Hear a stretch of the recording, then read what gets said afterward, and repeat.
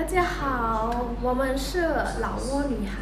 经常有中国人问我，老挝人和中国人有什么区别？那我来说一下，我们和中国人区别不大。我们也是信仰佛教国家，所以老挝人很善良，助人非常热情好客，对华人很好善。老挝有很多华侨的，因为老挝女孩很漂亮，中国的哥哥来了以后就舍不得走了。老挝人喜欢吃糯米，但大米也可以接受。吃的东西喜欢吃辣、酸、甜的。我们的肉类要比中国便宜，但我们也是每天每顿都能吃到。上肉，我喜欢吃的中国红烧肉。我们都想要找一个每顿都能给我们吃肉的中国男朋友。啊，还有什么区别呢？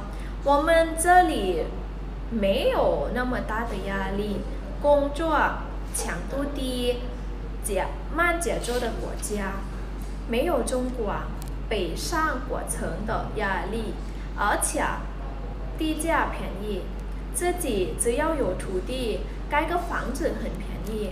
老挝女孩没有中国女孩那么多物质和势力，只要彼此相爱，男方条件差也没有关系，女方的父母也会同意的。我们老挝女少男多，所以我们很早就想嫁出去。我们不在乎男人的年龄、长相、身高，只要是能真心对我们好，能把我们女孩的父母当做他们的父母来对待就可以了。宠一点也没关系，只要人实在，对我们好就可以了。